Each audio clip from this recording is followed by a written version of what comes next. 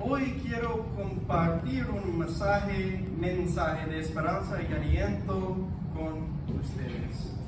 La vida está llena de desafíos y dificultades y en ocasiones podemos sentirnos abrumados por el peso de nuestras luchas. Sin embargo, la palabra de Dios nos recuerda que en medio de la adversidad podemos encontrar fuerza, fuerza, coraje y la seguridad de su amor inquebrantable y su presencia.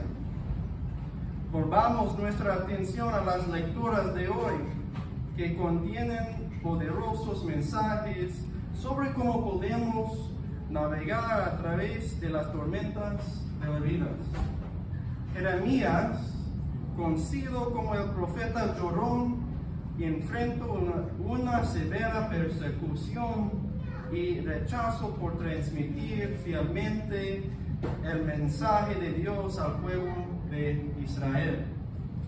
En su angustia, Jeremías derramó su corazón delante del Señor, expresando su frustración y el dolor, de, el dolor que soportaba. Sin embargo, a pesar de sus dificultades, Jeremías encontró consuelo en la fidelidad inquebrantable de Dios.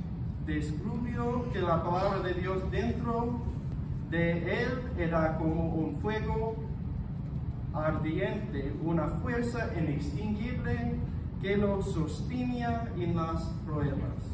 pruebas. Jeremías nos enseña la importancia de permanecer arraigados en las promesas de Dios, incluso cuando las circunstancias son desafiantes. Nosotros también podemos encontrar fuerza y coraje al depositar nuestra confianza en el carácter inmutable de nuestro fiel Dios.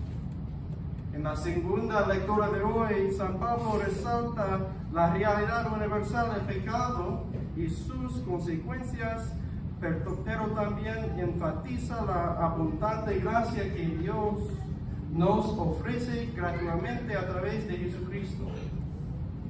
Aunque el pecado entró al mundo por medio de Adán, llevando a la muerte, la gracia de Dios sobrepasa ampliamente el poder del pecado.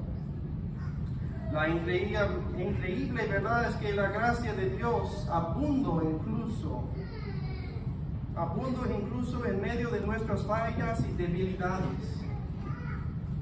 Es a través de la muerte y resurrección sacrificial de Cristo que tenemos la oportunidad de experimentar, experimentar perdón, la redención y una relación renovada con Dios.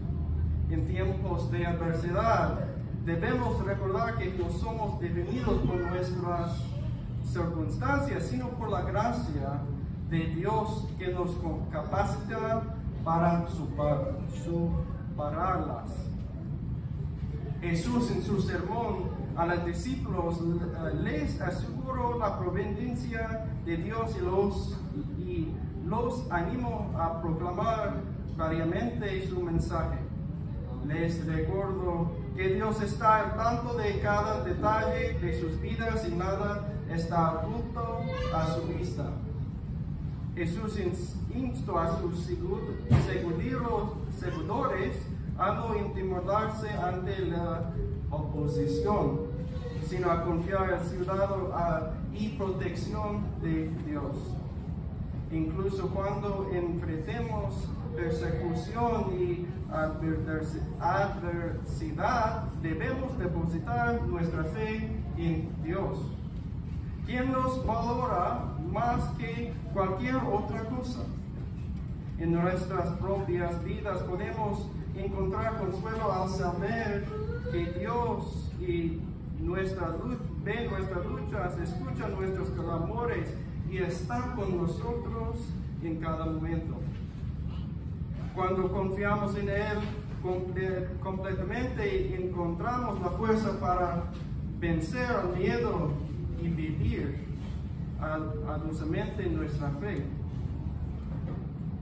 En conclusión, al reflexionar sobre las lecturas de hoy, recordemos que la palabra de Dios nos brinda la fuerza, el coraje, la seguridad que necesitamos frente a la adversidad.